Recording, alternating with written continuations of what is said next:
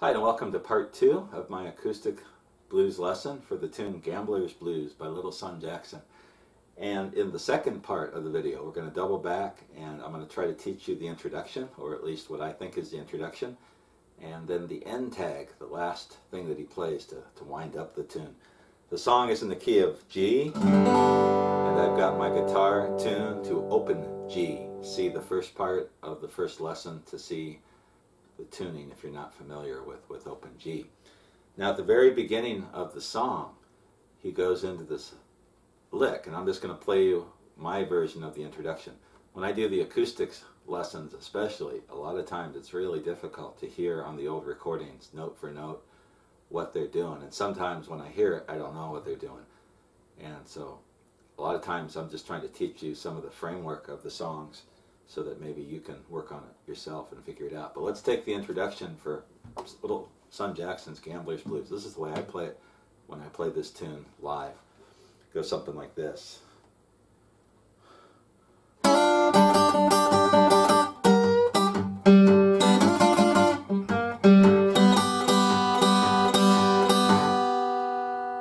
And what I'm doing, I'm sliding in first when I do this, I'm really getting all three, first, second, and third strings, but I've got my first finger on the first and second string, sliding from the second fret. You hear all three strings there to the third fret. And when you listen to the original recording, you hear him do that.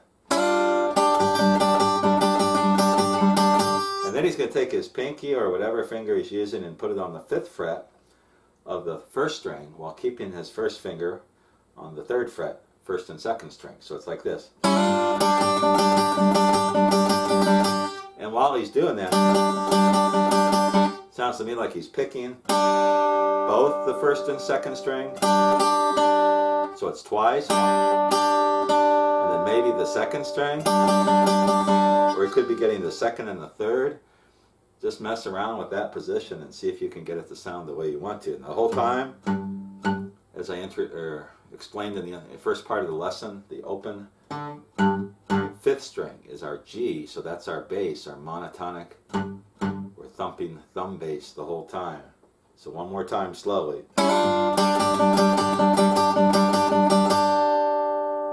I think that's pretty close to what he plays on the original. So one more time slowly.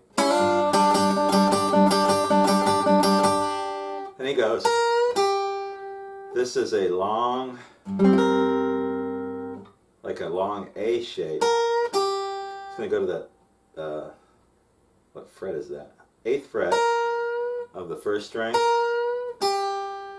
back to the fifth fret of the first string. So let me do that again.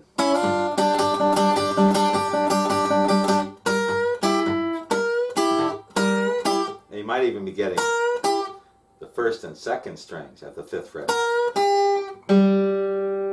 Open G so that whole leg,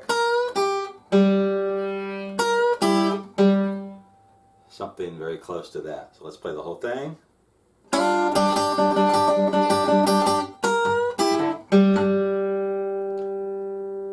And that is the, the first part of the introduction. Then he's just going to go back to this.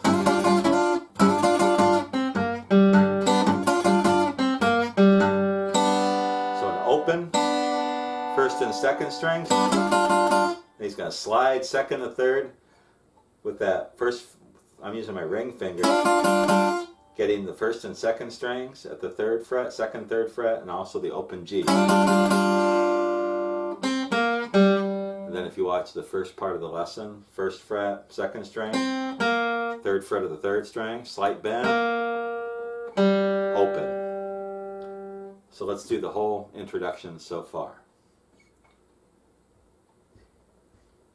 Let we do again.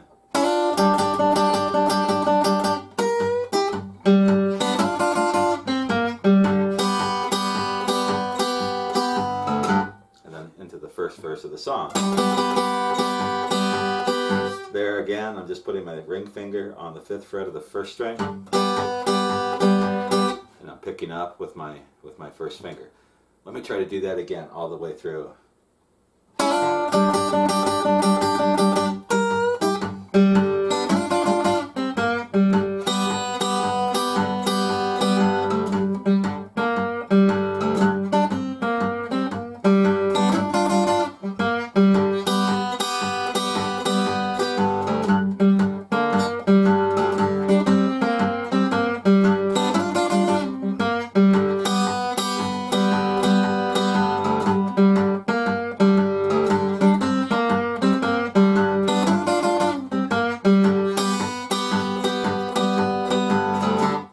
Introduction plus one verse into the song. So kind of a cool way to start the song. It's one reason I like this tune a lot. It's in open G, but he doesn't just stay with the pattern the whole song. He goes off and plays solos. He does some single note, single string stuff. Real, really cool song. So that introduction, one more time.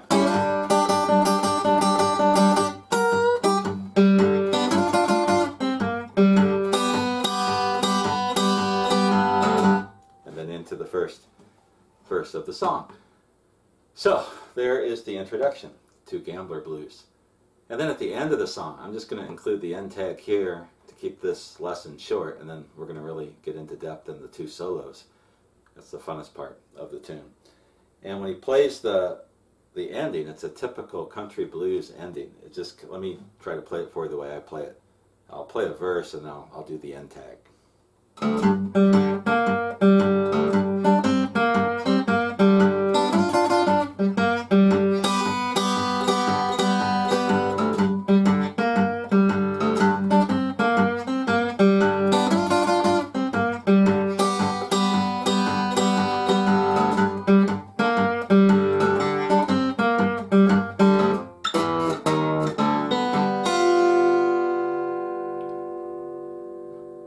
Perfect, kind of a little train wreck, but that's appropriate to the song.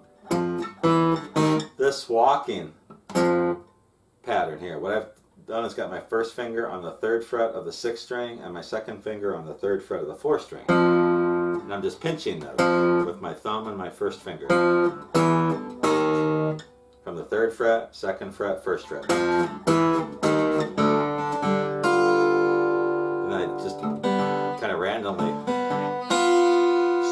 Strum or pick a little bit and then wind up on the G seventh with my first finger on the third fret of the first string. So let me try that again in context. And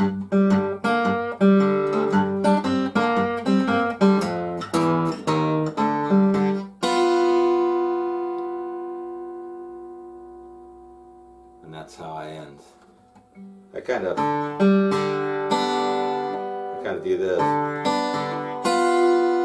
where I pinch the open sixth and fifth strings. And then I pick the open fourth, third string. So like this.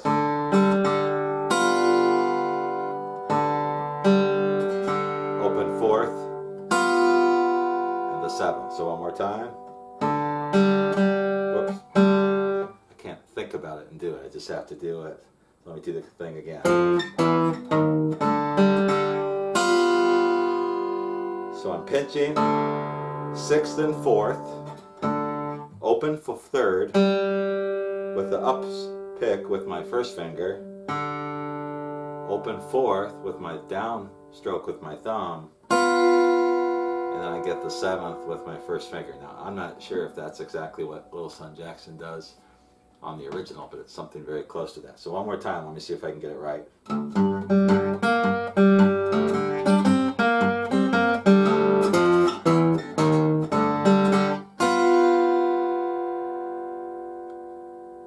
And that's my version of the end tag, and it's very close. This part, the bass, that's exactly what he does, and he ends on the seventh, just like that. So in this lesson, we covered the introduction to Gambler Blues and the end tag, or something very close to it. In the next lesson, we're going to look at the solos. There are two great solos in this song. And when he does the solos, he does some things that we haven't seen yet. And so this will increase your, your arsenal for playing in open G, give you some more ideas. I'll be back in a little bit. If you have any questions or comments on this part of the lesson, make sure you let me know. I'll see you soon.